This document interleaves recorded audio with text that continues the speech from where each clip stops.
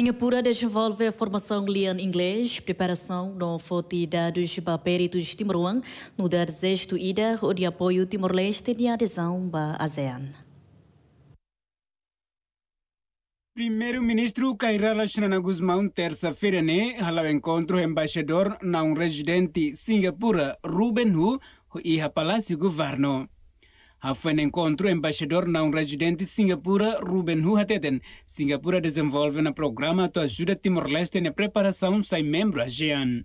Também Timor-Leste serviço uma casa de cumprir critério no plano nebe peritos ASEAN desenvolve.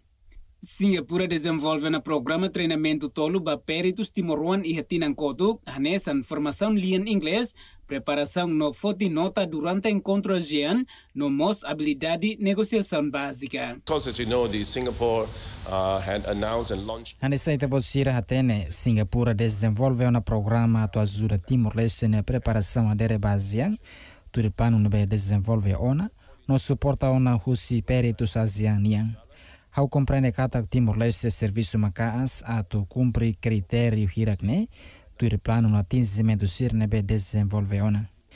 Ami desenvolve ona programa treinamento tolo ba peritos Timor-Leste niang ia tinakoto.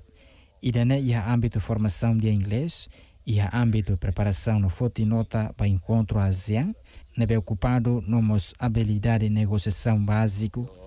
Government participated in these training programs. Singapura comprometido tebes a tu formação para Timor-Leste no ne e reconhecimento baseado li usi programa assistência no formação nebe oferece usi Singapura.